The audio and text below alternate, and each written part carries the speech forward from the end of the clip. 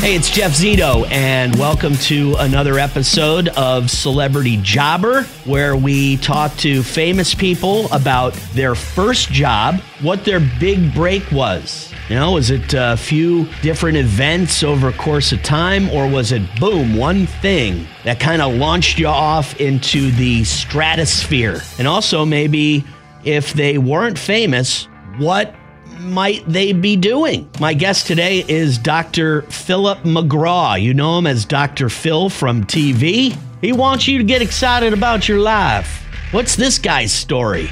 And does he do anything else other than the TV show? Oh, he does. And we're going to find out from my guest, TV's Dr. Phil, my guest this week on Celebrity Jobber. The Celebrity Jobber Podcast with Jeff Zito. If you like what you hear, please subscribe, give a five star rating, and leave a review. Check out all our past episodes on Apple Podcasts, Spotify, or wherever you pod. What if these celebrities weren't famous? What would they have become? What was their first job?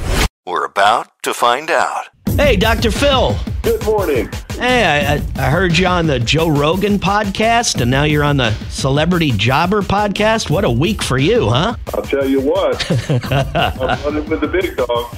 Well, listen, I, I wanted to talk about a few of the, the new business opportunities that you have uh, these days, but just a, a, little bit of history, if you don't mind. You grew up in, in Oklahoma. Can you tell me what your, your mom and your dad did?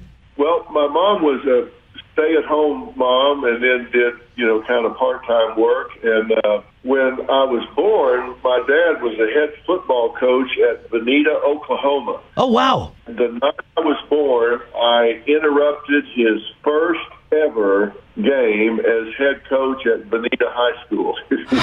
oh wow! Interrupted his first uh, his first game, and then you know he worked in the oil field um, business, selling uh, drill bits and pipe and that sort of stuff. So we moved all around. We were all over Oklahoma. When you yeah. went to college, Dr. Phil, what was it that you were studying in college? What did you think you wanted to be?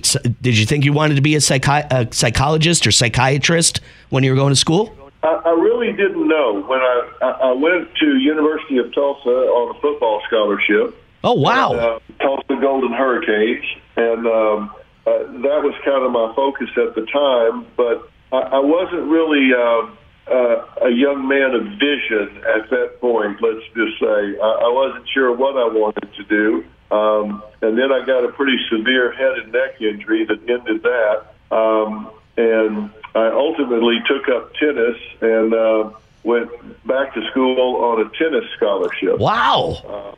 Uh, uh, much smaller school, by the way. Okay. And, uh, uh, but I did go on a tennis scholarship, so I was able for athletics to pay my way through school most of the way. Um, and uh, at that point, I did know that uh, I wanted to uh, either go to law school or um, pursue psychology, and so I kind of did both. I did uh, clinical psychology, but then I did a postdoctoral fellowship in forensic psychology or psychology in the law. So I, I kind of got a a bite out of both. Okay, and then when you, what was your first gig out of out of college? Was it uh, were you a psychiatrist or psychologist right out of college? I was. I was in private practice for a good while, and um, I, I did a lot of work in corporate America, uh, leadership training and things like that, and. Uh, then spent a lot of time in the litigation arena because I launched a company called Courtroom Sciences, which is a trial science firm where we did jury selection and uh, witness training and trial strategy and that sort of thing. That's how I met Oprah. Actually, okay, which kind of steered me in, steered me into the television. And, and tell me, do you think meeting Oprah was that your big break? You know, quote unquote, was that what got you to the next level? And could you tell us a little bit about that chance meeting with her? Um, well, it, it wasn't a chance meeting. Um, we were hired um, by Harpo Productions, Courtroom Sciences, to represent her in the Mad Cow case up in Amarillo when she was sued by the cattle growers uh, up there and worked with her for like two and a half years. And um, uh, at the time, Uh, courtroom Science was representing probably 50 of the Fortune 100, representing all of the airlines anytime there was a crash. Um, we represented the airlines in that regard. We represented all of the uh, uh, studios um, in Hollywood, um, all the movie studios, Paramount, uh, Universal, uh, all the different uh, studios out there. So we had a very successful uh, trial science business.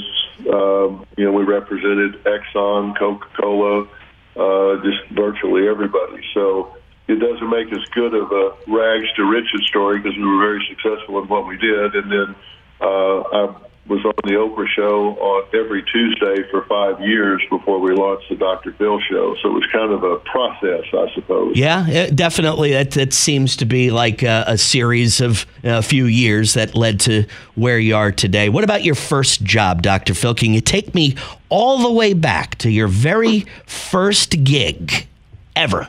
I can, I, I can, but uh, before we move off of it, let me also say there is no way I can overstate the O factor, the Oprah factor. I mean, you talk about a huge, huge advantage of having Oprah uh, to support you in launching the Dr. Phil show and all. And she's still a great friend, and and we're still very much uh, in touch. But what a what a wonderful boon to your television career when you're launched by the number one voice probably in the history of television. So no doubt about it, and I think that is pretty cool because you you have gone on to be quite successful over the years on your own. But I kind of just I like how you acknowledge that that uh, you, you, know that really helped considerably, and she was just uh, the biggest thing going at the time that that you yeah. you know launched. Can't give her enough credit. I, I'll tell you for sure. My first job uh, was at an A and W root beer stand. Oh, in Oklahoma. I was a car hop, and um, I worked there for a short time, and that was right before they put all of the car hops on skates. Oh. and when they put us on skates, I was toast, baby. that was the end of your career at that uh, particular point oh, in time. There are still hamburgers rolling down the highway from where I scattered them everywhere. I was I was not good on skates carrying a tray of food. Oh, that's hilarious. These days, Dr. Phil, on top of, you know, your TV show, which my mother watches all the time, and I watch it early in the morning uh, too. Uh, these days, I, I, just started finding it, uh, you know, next to the sports channel that I watch that starts at eight, and you're on a little bit before that, so I start catching the end of Dr. Phil in the morning. But you've got a couple new things going on. One being a book, the other being a network. And I want you to talk a little bit about both of those things. The book, We've Got Issues How You Can Stand Strong for America's Soul and Sanity. Who's this book for?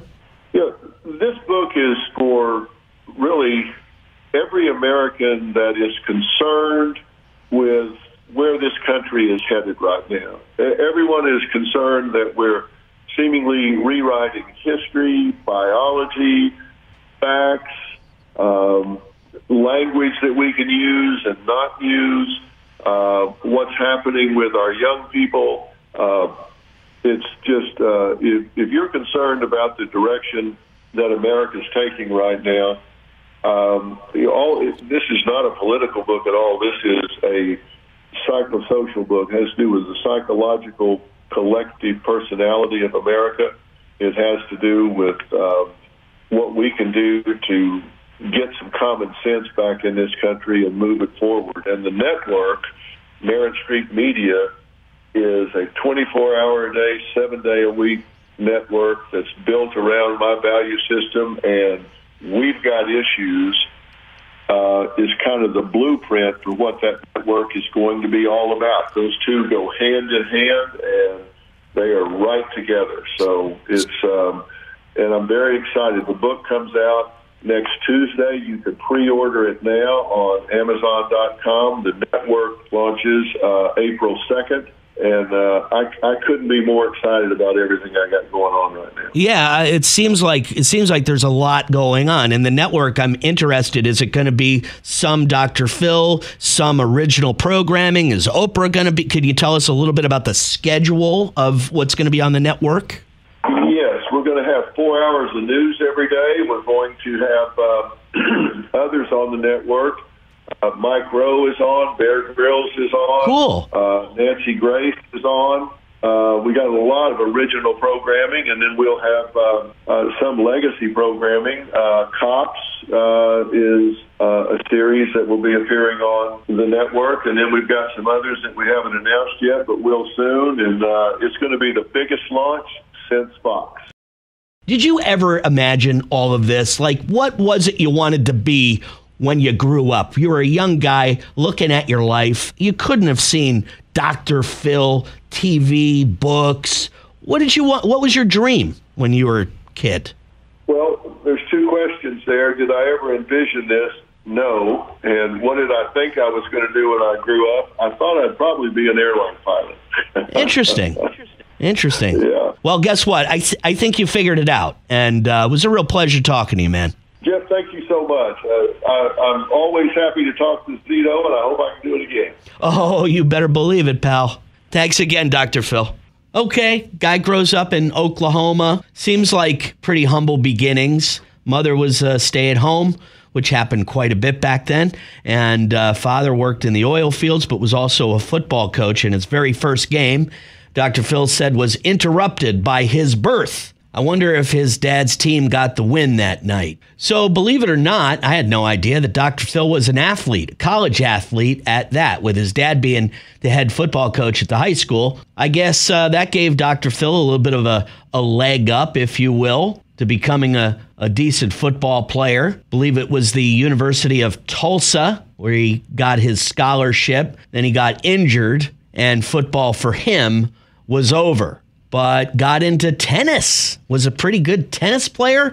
That I kind of find hard to believe. Just by looking at him, I'm sure he was, you know, a little bit more fleet of foot back then, but ended up going back to college, different school, smaller school, on a tennis scholarship, a psychology major, who went into private practice as soon as he graduated. You know, I find it kind of funny that he said as a young man he, he didn't have much vision but then again, I asked him if he wasn't Dr. Phil and had all this going, uh, what he thinks he would have become. And very quickly, he responded with airline pilot. He thought he was going to be an airline pilot. And I just kind of thought that was pretty interesting, you know? He, he definitely made no bones about his big break, which we all could assume the O factor, Oprah Winfrey, hired his company to uh, do some investigative work on that mad cow lawsuit that she was going through at the time. I guess saw something in Dr. Phil put him on TV, and the rest is, like they say, is history. Pretty funny. As a first job, Dr. Phil worked at an A&W root beer stand, but that didn't last long because the wait staff quickly transitioned into roller skates, and uh, Dr. Phil not a, a big skater, apparently, as burgers were rolling down the street. I'm sure he's fell on his ass a few different times on those roller skates. So it was a, quick career at the A&W root beer stand in Oklahoma for Dr. Phil McGraw who has, by the way, a few other business endeavors like his book. By the way, he's a number one New York Times bestselling author. A new book coming out called We've Got Issues How You Can Stand Strong for America's Soul and Sanity. Plus, Dr. Phil has his own television network coming out in the near future. So this guy is pretty self made. Really cool story. And you can find out more about uh, the book and, of course, Dr. Phil at drphil.com. You know, sometimes these guests will surprise you. Dr. Phil, uh, one of those guests, in my opinion, didn't really know what to expect from him, but uh, quite interested in his full story. So thanks for listening to another episode of Celebrity Jobber, streaming on Apple Podcasts, Spotify, or wherever you get your podcasts. Please subscribe and appreciate a five star rating. Leave a review if you would. All our past episodes are on celebrityjobber.com. Some real good ones on the way in the near future as well. I always tell you that, but next week we're going to hear from Alfonso Ribeiro. Remember him from the Fresh Prince of Bel Air? Carlton. He's got an incredible story and formed a relationship with Michael Jackson at a very young age. So we're going to talk to him a lot about that right here on the Celebrity Jobber podcast. As always, thanks for listening. I'm Jeff Zito.